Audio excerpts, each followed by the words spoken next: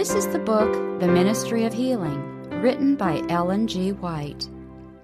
From the book's foreword come the following paragraphs The world is sick, and wherever the children of men dwell, suffering abounds. On every hand there is a seeking for relief. It is not the Creator's purpose that mankind shall be weighed down with a burden of pain, that his activities shall be curtailed by illness, that his strength wane and his life be cut short by disease. But all too frequently the laws established by God to govern the life are flagrantly transgressed. Sin enters the heart, and man loses sight of his dependence upon God, the source of life and health. Then follow the penalties of transgression pain, sickness, death. To understand the physical law governing the body and to bring the life practices into harmony with these laws is a duty of first importance.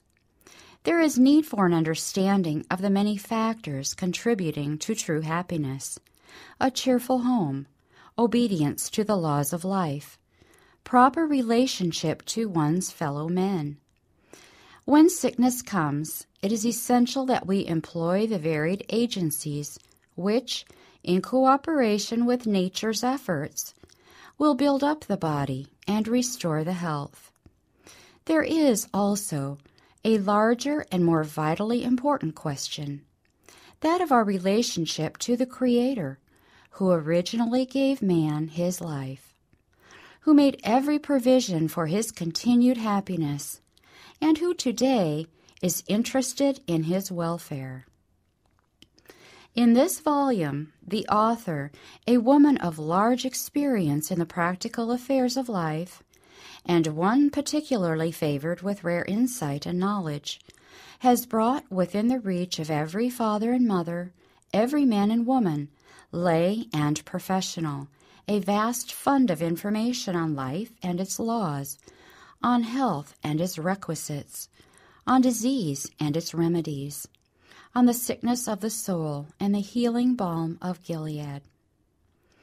The book is written in clear, simple, beautiful language, instructive to the learner, hopeful to the despondent, cheering to the sick, and restful to the weary. Through several decades, it has conveyed its helpful message to hundreds of thousands as it has been issued and reissued in many lands in a dozen of the world's leading languages. That this work, which presents a better way, revealing to us a simpler, sweeter life, full of joy and gladness, with room for that helpful service which it is more blessed to give than to receive, may fully accomplish its mission, is our sincere hope.